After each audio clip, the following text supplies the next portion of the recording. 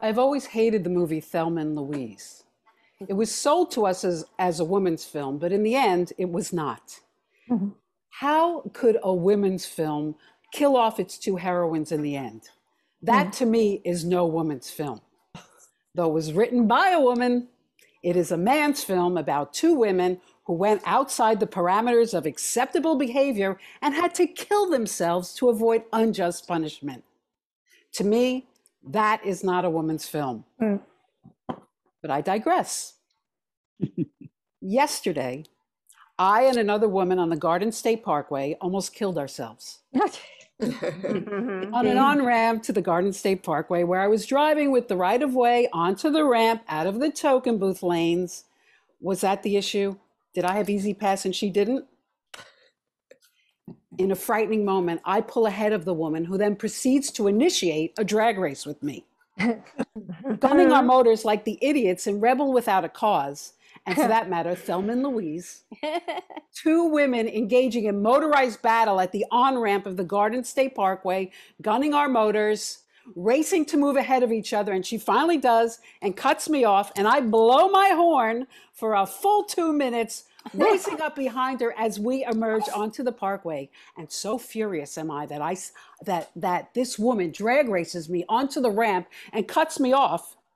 That as I see her veer into the far left lane, I gun my motor floor the gas pedal, pedal to the metal, you with the lead foot, as my father used to say, and pull into her fast lane, three car lengths ahead of her.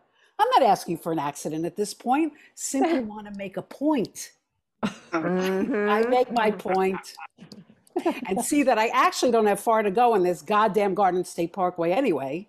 See my exit coming up on the right, pull back over to get into the lane that will take me off to this god take me off of this goddamn parkway victorious in some speeding motorist sick way. And from out of the blue this woman swerves her car into the lane next to me and into my lane literally trying to run me off the road i see an inch of breadth between our fenders she's running me off the road onto the shoulder so what i didn't believe she was trying to do willing to do to me at first, I now know is the truth.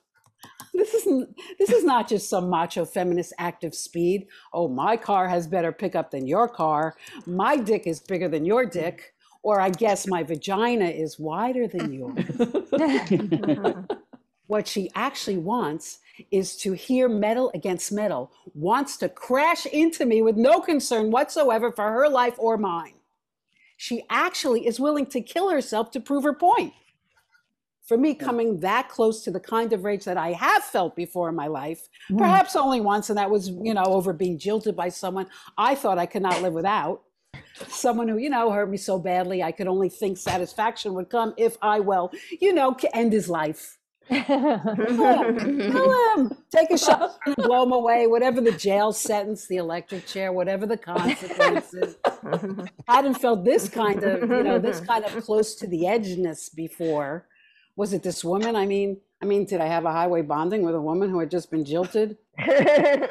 And my body having known, moaned this kind of rage, once having opened that door, that addiction need only come nose to nose or fender to fender with this same rage once again. And lo and behold, I'm right back there, willing to put my life on the line to prove a point. And what is the point uh, I am proving? Here on the Garden State Parkway honey, I have just as much rage as you. An African American woman, by the way, not that that should be significant, but probably is. honey, I have more of nothing to lose than you. Honey, nothing is more important to me in my life, in this life, than expressing my rage.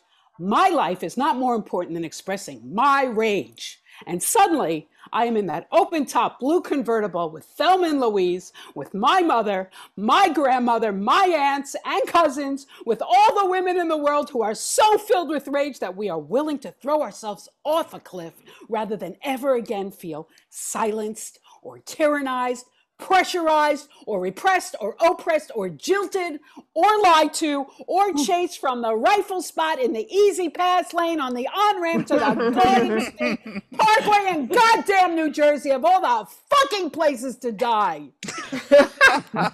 believe it was at least the Grand Canyon that Thelma and Louise flew into. oh my god.